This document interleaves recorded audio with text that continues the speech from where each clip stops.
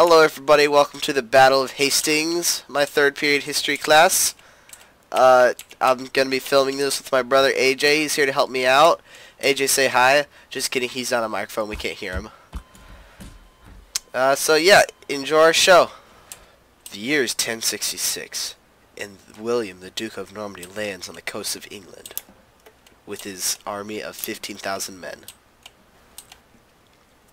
He sets up camp in a nearby town called Hastings, where he trains his troops and readies for the coming battle.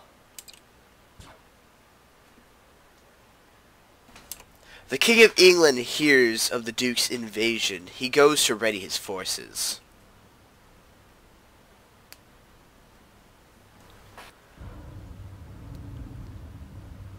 The King of England sets out to attack the Duke at Hastings.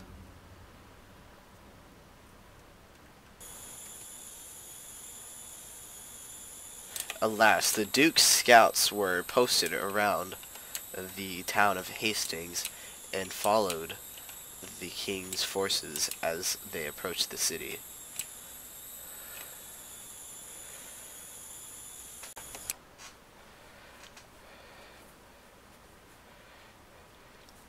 During a surprise attack, the king's forces were gunned down by archer fire and they were all defeated.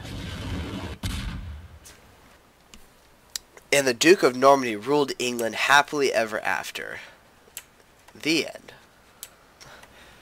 Hey guys, thanks for watching our skit. Like and subscribe for free COD points. Uh, please support us on Patreon.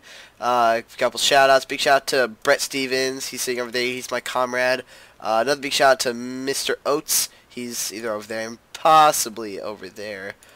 Uh, and uh, big shout out to me because I put this together all by myself and I had absolutely no help from anyone.